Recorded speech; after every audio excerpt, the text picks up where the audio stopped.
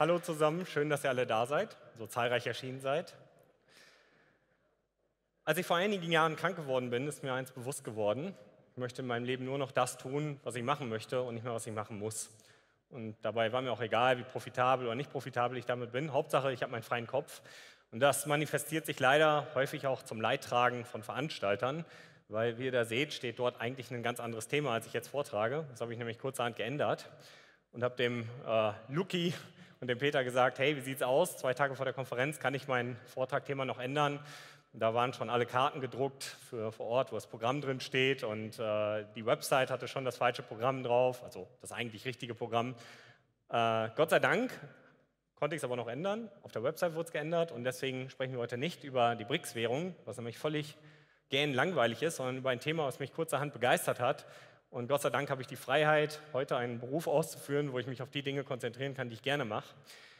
Und dementsprechend äh, sprechen wir heute über das Thema Bitcoin und das Prinzip der Wirksamkeit oder Bitcoin und das Prinzip der Selbstwirksamkeit, was mich in so ein kleines Rabbit Hole gestoßen hat und einen kleinen mind-blowing Moment mal wieder verpasst hat. Und das hat mich die letzten Tage so begeistert, dass ich euch lieber dieses Projekt oder äh, dieses Thema vorstellen wollte, als das BRICS-Thema, was irgendwie ja auch schon häufiger behandelt wurde.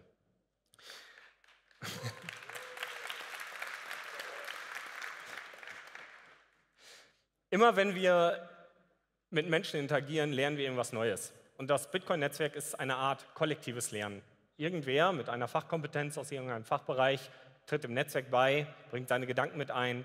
Die ersten Teilnehmer des Netzwerks nehmen diese Gedanken an, teilen sie mit allen anderen und irgendwie werden wir alle als Kollektiv schlauer. Und wir sinken uns. Wir haben alle irgendwann einen Wissensstand über Ökonomie, über Physik, über all die Dinge, die uns begeistern, die uns das Hinterfragen von Bitcoin erlauben und auch die Möglichkeit, darauf wieder Antworten zu finden.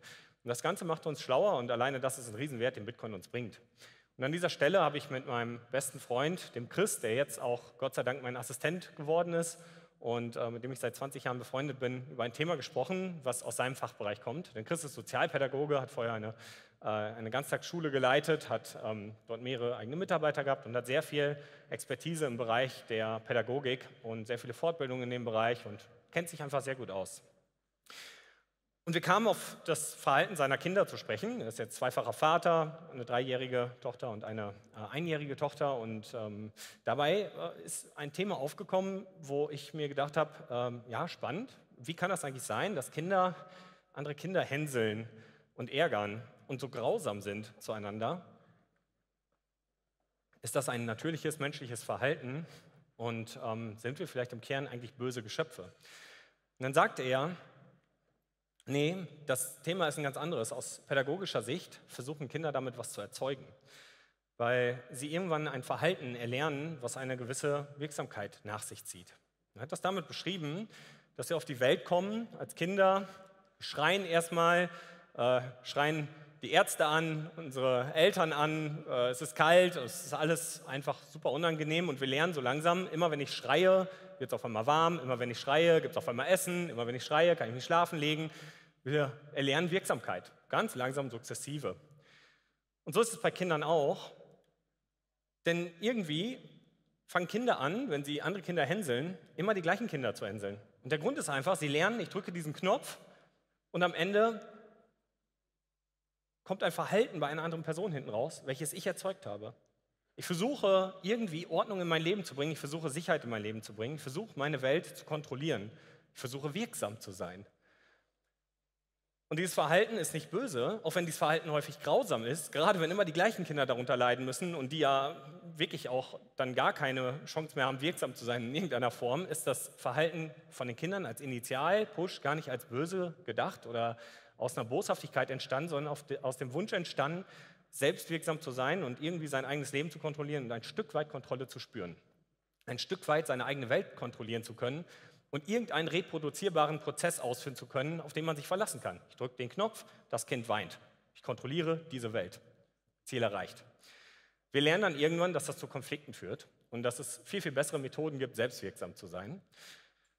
Und dann fangen wir an, einen Beruf zu erlernen und in Kooperation zu leben. Wir stellen fest, dass wenn, ein, wenn wir als Baby ständig schreien und irgendwas bekommen, dass wir viel zielgerichteter werden können. Statt zu schreien, können wir unsere Sprache benutzen und sagen, ich habe Hunger, Durst, mir ist kalt, mir ist warm. und kriegen so das, was wir wirklich brauchen, und zwar in viel effizienter, viel gezielter. Und so ist es ein ständiger Lernprozess, in dem wir versuchen, selbst wirksam zu sein, unsere Welt zu kontrollieren, irgendwie Einfluss auf diese Welt nehmen zu können und lernen eben mit der Zeit kooperativ zu sein. Und so erlaubt es unsere Arbeit, wirksam zu sein, ein Produkt zu schaffen, was andere uns abkaufen, wodurch wir diese Wirksamkeit spüren, wodurch wir Geld bekommen und andere wirksam sein lassen können in unserer Welt. Das heißt, Geld ist eine Art gespeicherte Wirksamkeit, die wir einsetzen können, um unsere Welt zu kontrollieren und unsere Ziele zu erreichen und uns ein Gefühl von Sicherheit zu verschaffen. Und das große Problem ist, dass es andere gibt in diesem Geldsystem, die das auch können, nur mit dem Unterschied, dass sie dabei nicht kooperativ sein müssen. Können einfach Geld drucken. Jeder strebt nach Wirksamkeit. Auch nichtmenschliche Wesen wie der Staat strebt nach Wirksamkeit. Er möchte wirken können auf der Welt. Und weil der Staat selber nichts produziert, muss er unsere Wirksamkeit dafür nehmen. Und er hat ein ganz tolles, einen ganz tollen Mechanismus dafür gefunden. Er kann einfach Geld drucken. Er ist einfach in der Lage, uns die Wirksamkeit wegzudrucken. Das hat ganz viele negative Effekte. Dieses Geld wird umverteilt und macht große Unternehmen sehr wirksam. Ich habe immer wieder das Beispiel angebracht von VW, die 200 Milliarden Dollar Schulden haben und ähm, berufe mich ja ständig darauf. Und interessanterweise bei der Recherche für ähm, jetzt die aktuellen Zahlen bin ich fast vom Stuhl gefallen, als ich gesehen habe, huch, da stehen ja jetzt auf einmal 400 Milliarden. Ja? Meine letzten Zahlen sind ja gar nicht so alt gewesen. Also es ist jetzt wirklich ganz, ganz schnell ganz viel schlimmer geworden in dieser Situation weil dieser Konzern unfassbare Geldmengen bekommt. Jetzt muss man fairerweise sagen, 70 Prozent von den Schulden, die VW macht, sind eigentlich Euro-Schulden. In dem Moment, wo ihr einen Kredit bei der VW-Bank nehmt, dann schöpfen die aus dem Nichts Geld. Das heißt, sie nehmen es der Gesellschaft weg, leihen es euch, ihr könnt dafür ein VW-Auto kaufen, aber sagen wir mal ehrlich, das ist ein Prozess, an dem nur VW profitiert in dem Moment und das ist der Cantillon-Effekt. Und das sind die Schulden, die eigentlich dieser Konzern hat. Spannend, hier als Vergleich auch RWE mit 111 Milliarden Euro Schulden bei einem Nettogewinn bei einem äh, Nettogewinn von 1,5 Milliarden Euro aus dem operativen Geschäft. Also da sieht man schon, wie ineffizient dieser Prozess ist, aber wie wirksam RWE ist, weil sie eben diese Schulden machen können und auch ganz viele Dinge machen können, die uns stören, Probleme erzeugen können und uns sogar Preise vorgeben. Weil dadurch, dass RWE Schulden machen kann, können sie günstiger Kohle abbauen und wir können günstigen Kohlestrom kaufen, obwohl sich das vielleicht für uns eigentlich gar nicht mehr lohnen würde. Und so schützt sich auch das ganze System. Weil in dem Moment, wo wir den Kohlestrom verbrauchen, kann man uns wiederum sagen, oh, jetzt habt ihr aber CO2 verursacht, jetzt müsst ihr aber irgendwelche Briefe bezahlen, damit das wieder gut wird, dieser ganze Prozess. Dabei ist der ganze Prozess dadurch geschaffen, dass uns die Wirksamkeit geklaut wurde und unfair auf Unternehmen verteilt wurde, die dafür nicht wirklich profitabel sein müssen. Und das führt dazu, dass die oberen 1% immer reicher werden, die unteren 90% immer ärmer. Und was wir hier sehen, da wo der rote Pfeil hin zeigt, der orangene Pfeil, ist der Moment 1971. Das ist der Moment, wo final die Regeln, so wie wir das Geld heute verwenden, definiert wurden. Vorher gab es auch schon Fractional Reserve, da wurde auch schon mehr Geld erzeugt, als Gold hinterlegt wurde, aber es gab noch eine kleine Bremse dafür. Die Bremse ist gar nicht mehr da. Was wir sehen, ist, dass eben mittlerweile das Ungleichverhältnis von Wertverteilung immer schlimmer wurde. Und wenn man das auf das Prinzip, auf unsere ursprünglichen Dinge, die wir uns als Menschen versuchen zu erhoffen, tun zu können, und zwar wirksam zu sein auf dieser Welt, um Sicherheit aufzubauen, um unsere Welt zu kontrollieren, betrachtet, dann sehen wir, dass die unteren 90 Prozent immer weniger Kraft haben, auf dieser Welt wirksam zu sein und die oberen 1 Prozent immer mehr. Wir verteilen die Wirksamkeit um von den, von den Menschen, von der Masse zu wenigen einzelnen Teilnehmern. Ja, und wenn wir dann sehen, dass RWE und andere Konzerne einfach immer weiter produzieren können, weil sie unsere Wirksamkeit rauben, dann macht das das mit unserer Welt. Und wir stehen irgendwann machtlos vor den Trümmern der Industrie, die nicht im Einklang mit unserer Welt funktioniert. Und ähm, auch wenn das Bild jetzt sehr traurig ist, es ist aber leider auch irgendwo die Realität. Und wir merken einfach, dass irgendwas mit der Welt nicht stimmt, dass unsere Welt kaputt geht. Wir können das kaum greifen. Und wir können vor allem eins nicht, wir können nichts dagegen tun. Wir sind nicht mehr wirksam. Wir haben keine Wahl mehr. Selbst wenn wir diese Konzerne ignorieren, sie können weiter produzieren. Sie brauchen uns nicht. Es wird einfach unsere Kaufkraft gedruckt und umverteilt. Und das bringt die Menschen zu verzweifelten Tat. Die Menschen versuchen irgendwie wirksam zu sein. Sie wissen gar nicht wie und kleben sich in ihrer Verzweiflung an die Straße. Sie spüren einfach, ich kann nichts mehr machen. Dann mache ich irgendwas, was völlig verrückt wirkt, aber auf einmal bin ich wirksam. Die Medien berichten darüber, Leute regen sich auf, irgendwas bewirke ich. Ja? Ich drücke einen Knopf und hinten kommt irgendeine Reaktion raus. Ich habe gelernt, ich kann wieder einen Knopf drücken in dieser Welt. Die Knöpfe, die mir abhandengegangen sind, die weggedruckt wurden. Ich kann wieder irgendwas drucken. Das Geldsystem hat uns zurückgeschmissen zu einem Zustand, wo wir andere mobben. Wo wir versuchen müssen, mit dem Mobbing irgendeine Reaktion auszulösen, weil das die einzige Art und Weise ist, überhaupt noch was auslösen zu können. Weil wir es nicht mehr können, weil wir die monetäre Kraft nicht mehr dafür haben. Wir fühlen uns auch selber nicht mehr. Wir haben den Eindruck, wir sind verschwunden. Wir brauchen Selbstbestimmungsgesetze, die das irgendwie wiederherstellen. Wir brauchen Gesetze, die unsere Welt uns zurückzugeben scheinen. Wir versuchen uns den Mechanismen, die uns noch bleiben, zu bedienen, um irgendwie wirksam zu sein, um unsere Wirksamkeit wieder ausdrücken zu können und einen Beweis für die Wirksamkeit zu haben. Hier ist mein Recht für meine Wirksamkeit. Das bin ich. Das ist mein Leben. Und dabei brauchen wir immer schärfere Regeln. Wir brauchen Dinge, die andere die anderen ihre Wirksamkeit nehmen, weil das noch das einzige Gespür ist, was wir verspüren, und schränken uns selber dabei immer weiter ein. Was illegal ist, muss raus aus dem Netz. Das ist der Digital Service Act. Große Zensur aller möglichen Medien, sozialen Medien, wo Twitter gerade versucht, in den Kampf gegenzugehen, mit Sicherheit nicht gewinnen wird, wo die EU vorgeben kann, was ist Recht, was ist Unrecht und was darf im Internet stehen und was nicht. Wer darf wirksam sein, wer nicht. Wer darf sprechen, wer nicht. Da haben wir wieder den Fall, das ist 1971. Und das sind die Gesetze, das sind die Anzahl der Seiten, die jährlich dem US-Bundesregister hinzugefügt werden. Und wir sehen einfach, dass diese Welt, weil wir unsere Wirksamkeit nicht mehr in einen monetären Gut speichern können, immer mehr darauf angewiesen ist, das mit den Mechanismen zu machen, die uns noch bleiben. Gesetze definieren, Handelsräume ein, Grenzen und die Möglichkeit schaffen, irgendwas zu bewegen, was nichts mehr mit Geld zu tun hat in direkter Form. Und die Gesellschaft, was ich immer wieder höre, verblödet. Viele sagen, die Menschen sind nicht in der Lage, Eigenverantwortung zu übernehmen, schon mal gar nicht für Bitcoin. Wir brauchen Custodial Service, wir brauchen die Möglichkeit, dass es immer einfacher wird. Guck dir an, wie dumm die ganzen Menschen sind. Wenn das so wäre, dann wären wir weg. Wenn wir Menschen nicht in der Lage wären, als kooperative Wesen zu überleben, dann hätten wir es nicht bis hierhin geschafft. Wir brauchen keinen Staat, der für uns denkt. Wir brauchen keine Obrigkeit, die uns unser Leben vorgibt, weil wir sonst so dumm wären, ein- und auszuatmen und tot umfallen würden. Das wird uns suggeriert. Wir verlieren unsere Wirksamkeit und damit auch unsere Eigenverantwortung, sodass dieses Bild entsteht. Kennt ihr diesen Trend? Schon mal gesehen? Das ist der TikTok-NPC-Trend. Ganz einfaches Prinzip, eine Dame, eine Person stellt sich hin und macht Ereignisse nach. Man kann zum Beispiel ein Eis spenden, dann suggeriert diese Person, dass sie kurz das Eis gegessen hätte und äh, macht ein Geräusch, wie das geschmeckt hat, ein Hm oder Oh. Ja? Und das ist repetitiv, also wie ein Nichtspielercharakter aus einem Computerspiel, wie so ein Bot.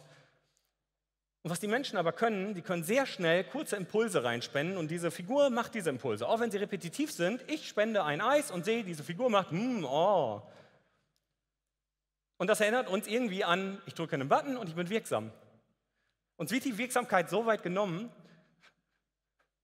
dass für die meisten Menschen dieses Konzept das Gefühl von Wirksamkeit auslöst und wir denken, wir können wieder ein Stück weit unserer Welt kontrollieren. Ich kann eine Kiwi, ein Popcorn, ein Eis spenden und hinten raus kommt Wirksamkeit. Das hat aber das Fiat-System erzeugt. Wir Menschen haben eigentlich keinen Bedarf daran, wenn wir wirklich mit unserem Geld Wirksamkeit spüren könnten. Wir haben diesen Bedarf, weil wir keine andere Möglichkeit mehr haben.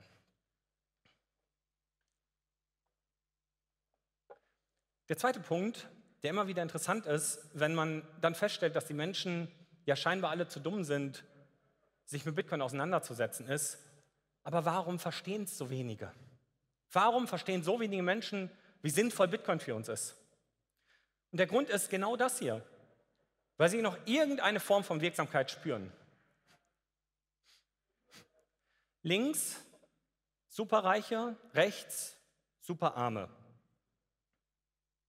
Wer ist mehr wirksam in dieser Welt? Wer hat mehr Wirksamkeit?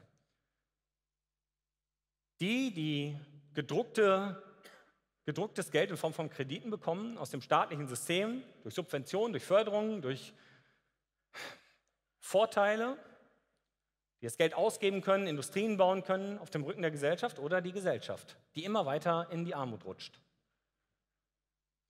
Die Menschen rechts spüren keine Wirksamkeit mehr. Sie verblassen in dieser Welt. Sie haben keine Stimme, sie werden nicht gehört, sie werden ignoriert. Für diese Menschen ist Bitcoin ein Tool, ein Werkzeug, Wirksamkeit zurückzuerlangen. Das ist genau der Grund, warum für diese Menschen Bitcoin viel, viel früher als Verständnis im Kopf sich manifestiert, als für die Superreichen. Die haben das Problem nicht, sie sind noch wirksam. Erst wenn uns die Wirksamkeit schwindet, merken wir langsam, wie sehr wir Bitcoin eigentlich brauchen. Und je schlimmer der Zustand wird, je schlimmer die Auswirkungen werden, desto mehr brauchen wir Bitcoin. Wir werden vor die Wahl gestellt.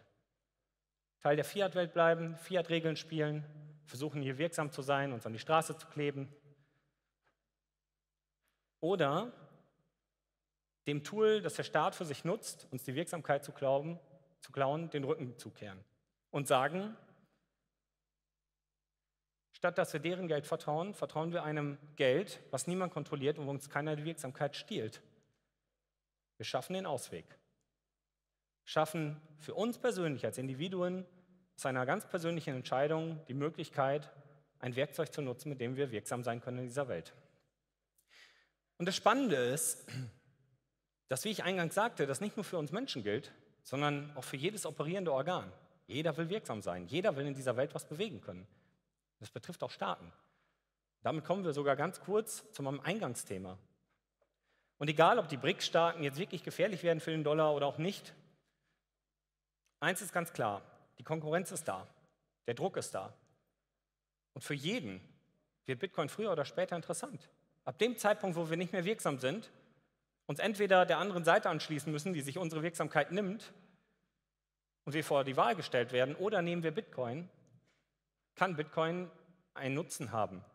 Und genau das sehen wir aktuell. Ich glaube, dass keiner der Präsidenten, die heute Anwärter sind und Bitcoin als einen ihrer Leitthemen machen, wirklich gewählt werden.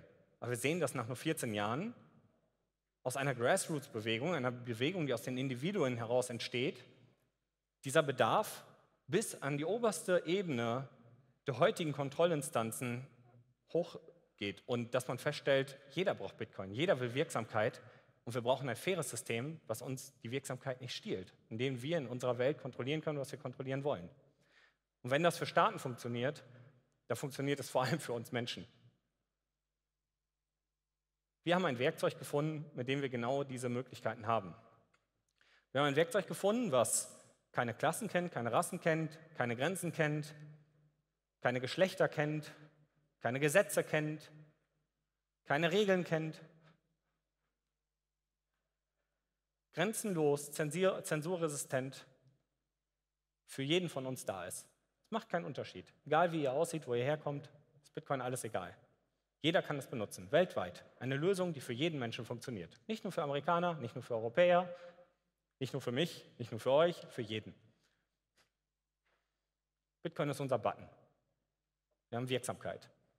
Mit dem können wir in der Gesellschaft Bedarf bedienen, Nachfrage erzeugen. Mit Bitcoin werden wir wirksam. Wir schaffen es, eine kaputte Fiat-Welt zu reparieren. Schaffen es, die Kontrolle über die Welt, über unsere Welt zurückzuerlangen. Wir schaffen es, dass die Kontrolle, die über uns erlangt wurde, gebrochen wird und jeder wieder in der Lage ist, selbstwirksam zu sein. Und das gibt uns genau das, was wir uns von der Selbstwirksamkeit erhoffen. Es gibt uns Sicherheit, Ruhe. Wir brauchen keine Angst mehr haben, dass das Fundament unserer Welt erschüttert wird, weil wir insgeheim wissen, dass wir keine Macht haben, dass Konzerne uns alles klauen können, der Staat uns alles klauen kann. Wir brauchen niemandem mehr Vertrauen. Und genau das ist der Grundstein für eine gesunde Gesellschaft, die in Harmonie miteinander umgeht, in der wir positiv lernen, wie unsere Wirksamkeit das Leben anderer positiv beeinflusst und wir selber dadurch ein erfüllteres Leben leben können in Sicherheit und ohne Angst. Und deswegen ist Bitcoin ein Werkzeug dafür, dass wir sagen können, Bitcoin bringt dir Wirksamkeit. Dankeschön.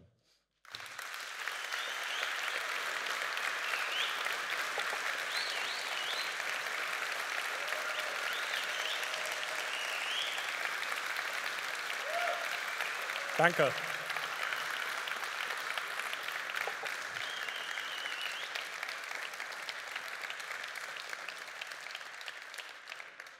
Und wie ich erwartet habe, bin ich äh, mit dem Vortrag viel zu schnell fertig. Ist auch kurz vor der Konferenz entstanden. Ich möchte aber, falls ihr wollt, die Möglichkeit für Fragen bieten. Wenn keine da sind, ist auch okay.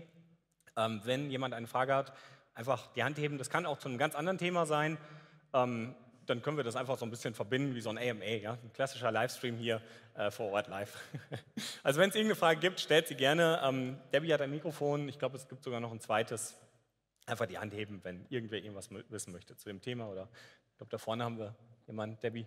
Oder, ach, der Luki geht schon hin. Ja. Ähm, ich möchte die Gelegenheit nutzen, gar keine Frage zu stellen, sondern dir, Roman, Danke zu sagen. Danke für diesen Vortrag und aber vor allem auch, dass du dieses Thema, was ja auch nach außen polarisiert und du auch bestimmt an der einen oder anderen Stelle Widerstand bekommst, dafür einstehst und weiterhin deine Überzeugung vertrittst. Und ich habe diese Energie gerade sehr hier gespürt. Und ich glaube nicht nur ich, sondern viele hier in diesem Publikum.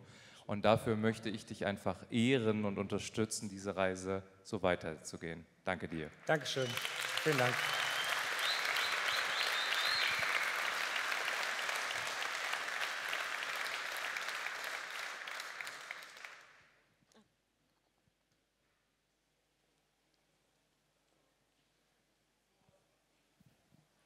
Hallo Roman, äh, danke für den Vortrag, hat mich sehr berührt.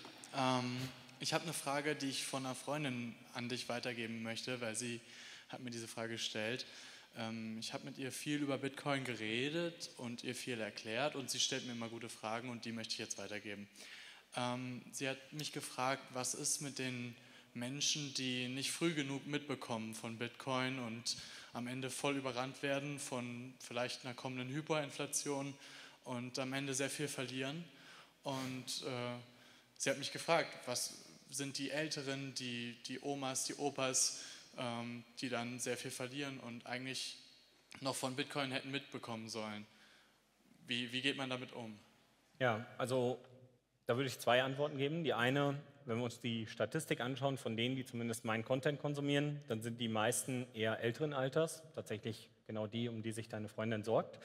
Ähm, es sind eher die Jüngeren, die das Thema nicht verstehen. Auch das ist leicht zu erklären. Wenn ich jung bin, sagen wir 18 Jahre alt, gerade Praktikum fertig gemacht, komme in die Ausbildung, verdiene mein erstes Geld, dann habe ich die ganze Zeit erstmal mehr Wirksamkeit als vorher.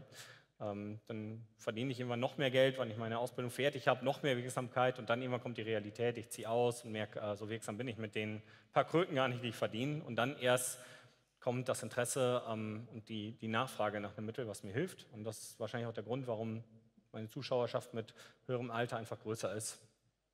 Das andere ist, dass ich glaube, dass wir als Gesellschaft immer vor derartigen Problemen stehen, dass wir uns unterstützen müssen dass Menschen Unterstützung brauchen, uns aber die Wirksamkeit auch an dieser Stelle genommen wird, überhaupt Unterstützung leisten zu können. Wer kann sich das leisten, anderen Person, äh, eine andere Person mit aufzufangen, ihr auf die Beine zu helfen? Wie viel Geld haben wir dafür? Wie viel Möglichkeit, selber äh, Erspartes auf Erspartem zurückzugreifen? Ähm, ein wichtiger Punkt bei der Definition oder bei der, bei der Preisfindung von Geld ist, dass Geld ja einmal den Effekt hat, dass Wirtschaftsleistung und Hab und Gut, was innerhalb einer Gesellschaft vorhanden ist, den Preis definiert, äh, kann ergänzt werden durch einen, einen Bedarf an Sicherheit. Je unsicherer die Zukunft ist, je ungewisser die Zukunft ist, desto mehr Bedarf habe ich, Rücklagen aufzubauen. Und die Realität ist, keiner kennt die Zukunft. Deswegen sollte jeder sparen können. Stattdessen haben wir alle Schulden. Das ist das Problem, dass wir uns gegenseitig gar nicht helfen können in schwierigen Zeiten, weil genau dafür sind Rücklagen da. Wenn das, was ich gerade vorgetragen habe, stimmt und wir als Kinder ganz natürlich erlernen, dass wir in kooperativen Verhalten wirksamer sind als in feindlichem Verhalten, dann bin ich mir sicher, dass das Outcome nicht sein wird, dass wir die Menschen, die es zu spät verstehen, hinten runterfallen lassen. Und da glaube ich an uns, an die Menschlichkeit, und wenn ich in diesen Raum hier reingucke und wenn ich mit Menschen rede, spüre ich so viel Positivität, dass ich einfach sagen muss, ich bin auch davon überzeugt, dass Menschen dieses Verhalten sehr schnell zurückerlangen und lernen in dem Moment, wo sie ein hartes Geld für sich entdecken. Und von daher habe ich ehrlich gesagt keine Angst, weil ich keine Angst habe, dass Menschen in sich grausam sind, sondern eigentlich an äh, kooperative Wesen glaube. Es ist nur häufig das System, was uns einreden will, dass man sich darauf nicht verlassen könne, weswegen es sich selber rechtfertigt.